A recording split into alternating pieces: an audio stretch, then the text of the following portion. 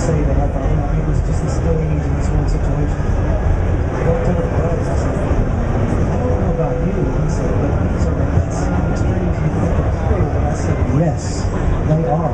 And uh, I had to call my endorsement, stop the ads, and say, I'm really, really sorry. And uh, they said uh, that no, they were so cool, thank goodness, and said, said uh, no problem, you know, if you ever want to come back, come back. And I've been using DRs ever since. I just love those strings. They're, they're awesome. They last longer than any strings I've too.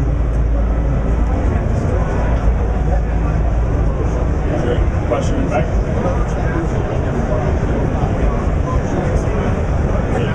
Do you approach mastering different than mixing?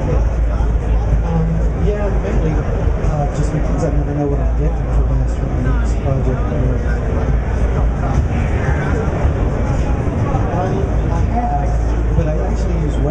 others for most of the time.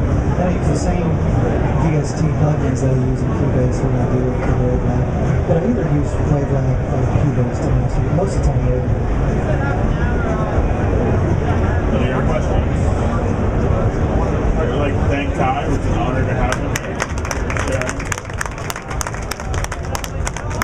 4 o'clock, we have Peter interview, I think you shared a guitar tech with here six come back in about a half hour.